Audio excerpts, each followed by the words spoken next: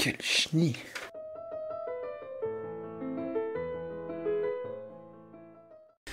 Eh bien bonjour à toutes et à tous et bienvenue dans cette nouvelle vidéo. Euh, J'espère que vous allez tous bien. Aujourd'hui j'ai décidé de vous faire euh, la dernière vidéo, en fait la dernière pièce du puzzle pour débuter dans la radio. Euh, Aujourd'hui je vais vous parler du vocabulaire à utiliser en fréquence. Donc nous allons aujourd'hui voir l'alphabet OASI, le jargon des cibistes, ainsi que le code Q. C'est je pense les trois éléments les plus importants euh, à savoir pour communiquer à travers les ondes. Et du coup, je vous propose de commencer tout de suite en répondant à la question bah, à quoi ça sert d'avoir euh, un langage radio et à quoi servent bah, aussi du coup ces règles de trafic? En général, quand on parle en fréquence, quand vous parlez en fréquence, et ben le but premier de les communications radio quand on formule une phrase, c'est d'être bref et compréhensible. Pourquoi? Parce qu'il n'y a qu'une seule personne qui peut parler à la fois en fréquence, au contraire du téléphone par exemple, où les deux personnes peuvent parler en même temps sur la radio, eh ben, il n'y a toujours qu'une seule personne qui peut parler parce que bah, sinon on se marche dessus. Et du coup, pour laisser bah, le plus de temps aux autres pour répondre ou pour breaker ou pour rentrer dans le QSO, eh ben, on essaye d'être bref et compréhensible. C'est pour ça qu'il y a plein de choses qu'on précise. Par exemple, à la fin des phrases, on dit toujours à qui on donne le micro, parce que bah, sinon c'est pas clair, et puis il y a tout le monde qui va prendre le micro et il y a tout le monde qui va se marcher dessus. Donc le but en langage radio et en communication radio, c'est d'être bref et compréhensible. D'autant plus que bah, dans certains cas, la station en face, elle peut mal vous recevoir parce qu'il y a des parasites, du QRM. Et puis bah, du coup, euh, des fois, c'est pas vraiment très compréhensible et c'est pour ça qu'il faut que ce soit le plus bref et le plus compréhensible possible. Du coup, moi, ce que je vous propose, c'est de commencer directement avec l'alphabet OASI. Donc c'est le même alphabet euh, que vous connaissez, hein, A, B, C, D, E, F, G, blablabla. Sauf que euh, pour chaque lettre, on a trouvé un mot qui commence par cette lettre. Vous allez tout de suite comprendre, hein. je pense que vous connaissez déjà plus ou moins, mais il y a peut-être certains mots que vous ne connaissez pas. Voilà l'alphabet OASI. Alpha, Bravo, Charlie, Delta, Echo, Foxtrot, Golf, Hotel, India, Juliette, Kilo, Lima, Mike, November, Oscar, Papa, Québec, Romeo, Sierra, Tango, Uniforme, Whisky, Victor, X-Ray, Yankee, Zulu quoi sert maintenant du coup euh, l'alphabet OASI Par exemple, si vous voulez épeler euh, votre indicatif, comme par exemple le mien qui est Stego67, bah Stego, je vais l'épeler S-T-E-G-O, et du coup en alphabet OASI, je vais dire Sierra, Tango, Echo, Golf, Oscar 6, 7. Et comme vous le voyez, dans tous ces mots, eh ben, il n'y en a aucun qui se ressemble ils se, bah, pas, se riment pas entre eux, etc.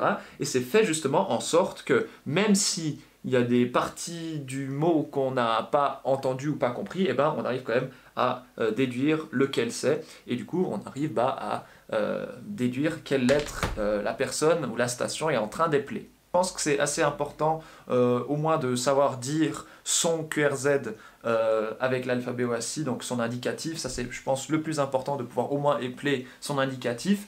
Après, euh, si vous le savez par cœur, c'est toujours pratique pour euh, épeler, je sais pas, des, références de poste, euh, plein de trucs.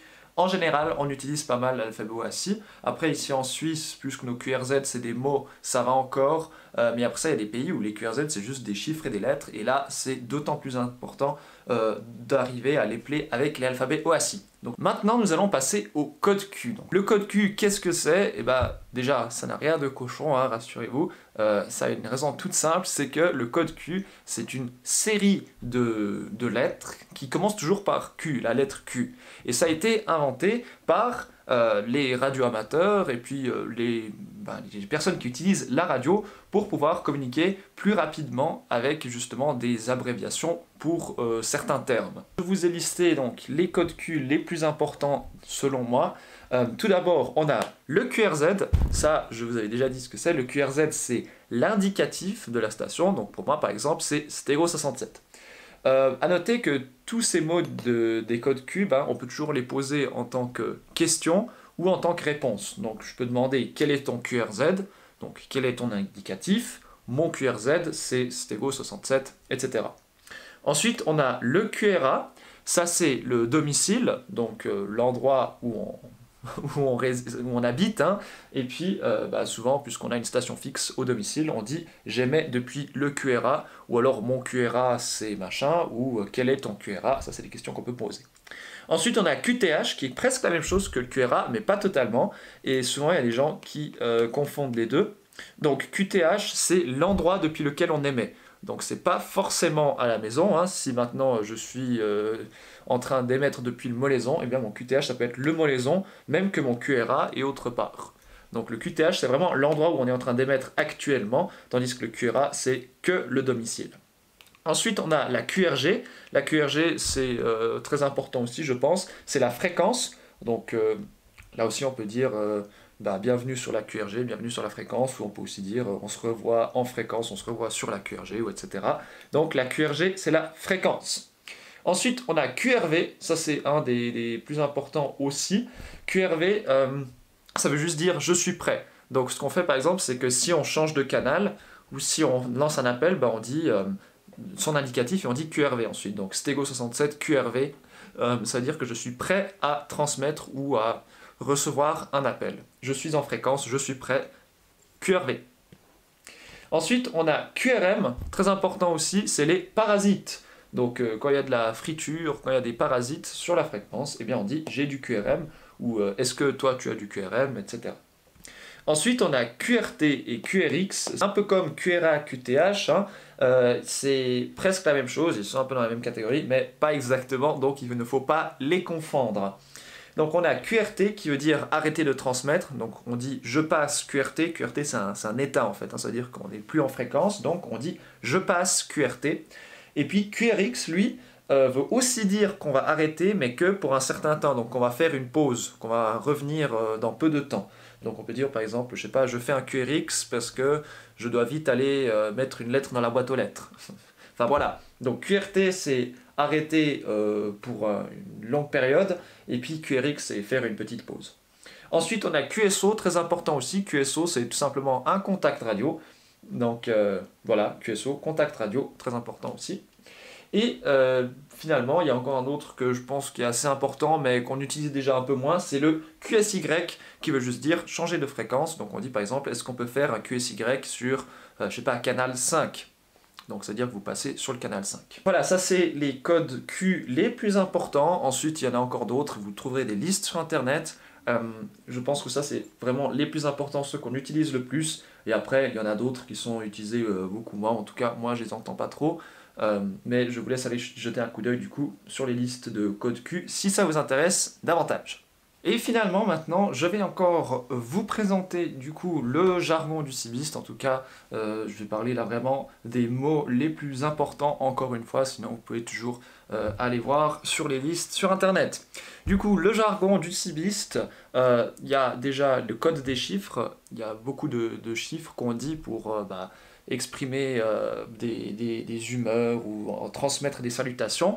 Et les deux les plus importants, c'est les 73 et les 51, euh, qui veulent dire ben, euh, salutations et bonne poignée de main. Et puis on les dit souvent ensemble, on dit 73, 51 ensemble. On peut aussi souhaiter les meilleurs chiffres à quelqu'un, donc ça veut dire que parmi tous les chiffres qu'il y a, on souhaite les meilleurs chiffres. et ça, ça se dit souvent en fin de QSO en mode ben, je te souhaite les meilleurs chiffres et puis à la prochaine, blablabla. Ensuite, on a le 600 ohm, ça c'est aussi euh, un bel appareil. Le 600 ohm, c'est rien d'autre que le téléphone, donc euh, on peut dire, bah, j'ai un appel sur le 600 ohm ou j'ai le 600 ohm qui sonne, donc ça veut dire que je dois vite prendre un coup de fil, et du coup, je fais un QRX.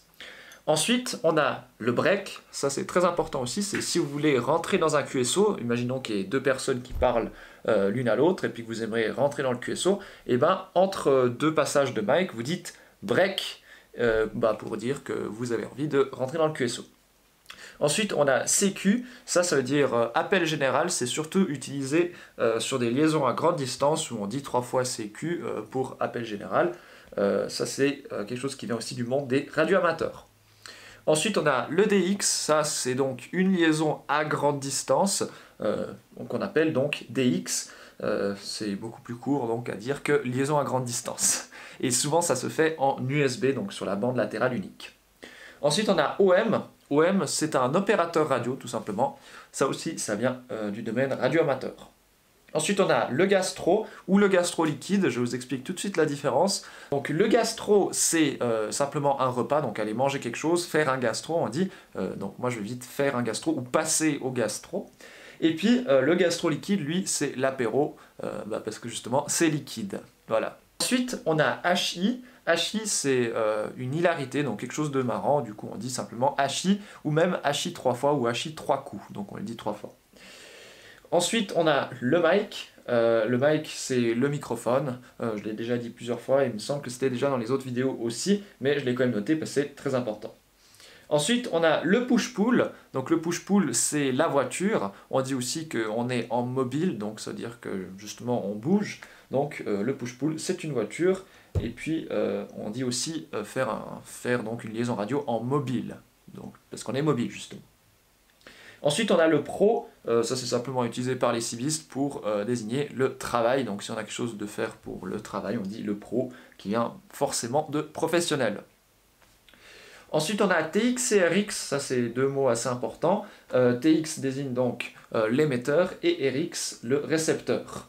Ensuite, on a visu, qui vient de visuel, et donc qui veut dire se voir en vrai, se rencontrer en vrai. ça c'est quelque chose qu'on utilise pas mal, on dit faire un visu ou organiser un visu.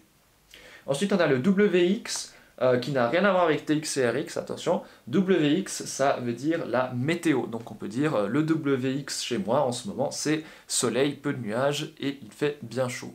Voilà, donc c'est la météo. Ensuite, on a l'aérien. Euh, donc l'aérien, c'est tout simplement les antennes, bah, parce que c'est dans l'air, et du coup on appelle ça l'aérien.